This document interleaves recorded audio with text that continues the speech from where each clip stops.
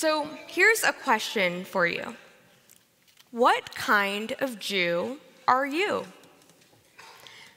Tablet Magazine published an online quiz with this title in 2023 based on the 2020 Pew Research Study of American Jewry. The quiz sorts participants into four categories active, affiliated, ambivalent, and alienated. At one end of the spectrum are active Jews, those with Judaism at the center of their lives, while at the other end are alienated Jews, those with little Jewish connection at all. According to the quiz, I am an affiliated Jew. and with, I quote, little interest in organized religion, and a bit of a pessimist about our American Jewish future. Like you, I, I have some questions about this algorithm. But accuracy aside, sorting people into groups of four, or four groups, seems to be common among personality tests. There's the four frames model of leadership, the four tendencies, the four, uh, the four temperaments, and so on. Even the Myers Briggs test has four pairs of letters that mix and match to make up the 16 personality types. And as it turns out, the rabbis of the Mishnah also enjoyed sorting people into four categories. The rabbis tell us in the Mishnah there are four types of people, there are four types of temperaments, four types of disciples, four types of charity givers, four types of students, and finally, four types of apprentices. Some psychologists suggest that we love personality tests because we want to understand ourselves and understand our place in the world. It's no wonder then that this human desire is at least as old as our Torah. In my hands is perhaps the most ancient of all personality tests, the lulav. The description for the Arba'a Minim the four species that are collectively known as the lulav first appears in Leviticus alongside the other commandments for Sukkot. Leviticus 23:40 tells us, "You shall take the product of hadar trees, the etrog, branches of the date tree, the lulav, boughs of the myrtle trees, hadas, and willows of the brook, the arava, and you shall rejoice before Adonai your God seven days. The ancient rabbis were perplexed by these instructions. Particularly puzzling to them was the specific naming of these four different plant species. They concluded that these different plants must be symbols that represent something else, maybe four aspects of God, for example, or the personalities of the four matriarchs. The most widely accepted explanation that they proposed is that the Arba'a Minim, the four species, represent the four types of people that make up the Jewish people. A midrash in Vayikra Rabbah outlines these four types. The etrog has both taste and smell, representing those who both have the wisdom of Torah and commit themselves to putting that Torah into action through good deeds.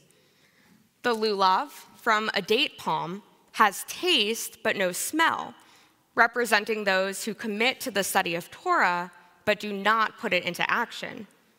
The myrtle, or the hadass, has smell but no taste, people that are full of good deeds and actions but who make no time for the study of Torah. The willow, or the arava, has neither taste nor smell, and likewise has neither Torah nor good deeds. If I were to capture these four types as if they were the results of a personality test, here's how I would summarize them.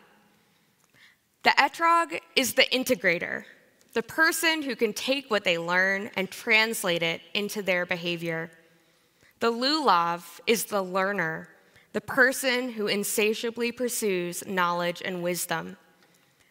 The hadass is the doer, the person who jumps into action and thrives when they're working towards a goal. The Arava is the hesitator, the person who is not sure of themselves and chooses observation over participation. Etrog, Lulav, Hadass, Arava. Which one are you? When I consider this question for myself, I jump straight to what I'm not. I want to be the etrog, the integrator of Torah and action, but deep down I know that I am the lulav, the learner. But there's no hierarchy among these types. They simply are. Just as I might wish I were more prone to action, an integrator might be jealous of the hesitator's capacity for reflection. By comparing ourselves to others and emphasizing where we lack, we squander the strengths that we have to offer. But by understanding ourselves, we can share our strengths and we can reflect on and ask for help in the areas where we need it. Elsewhere in the Torah, the trio of Moses, Aaron, and Miriam provide the perfect example for us. Moses is an Arava, a hesitator, reluctant to lead his people and aware that he lacks the skills needed to speak on their behalf. His brother Aaron is an etrog, an integrator, who takes what he learns from Moses and communicates it to Pharaoh and the people of Israel.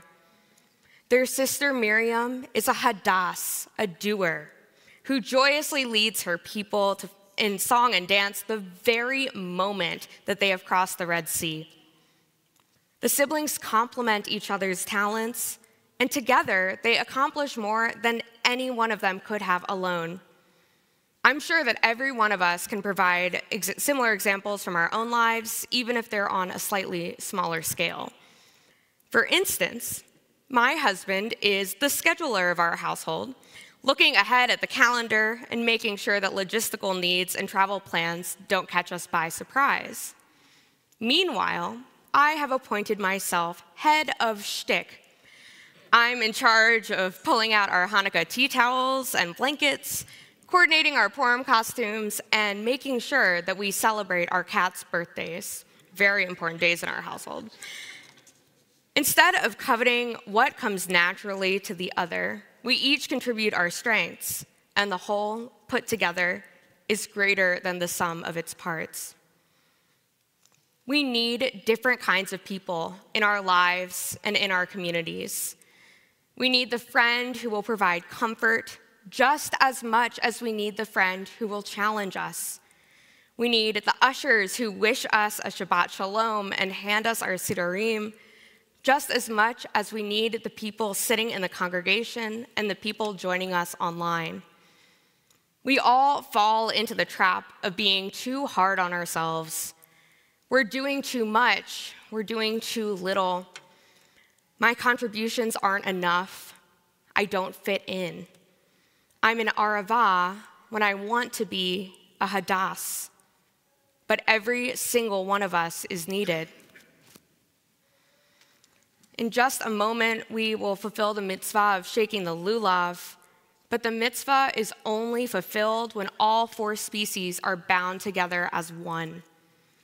The rabbis of the Midrash tell us that just as the four species represent the four kinds of Jews, the binding of the lulav together tells us that every single Jew is necessary to the Jewish people. The etrog, the lulav, the hadass, and the arava, each distinct in its qualities, but when they are bound together, the whole lulav is greater than the sum of its four species. Mo'adim l'simcha, may this time be joyous for all of us, and Shabbat Shalom.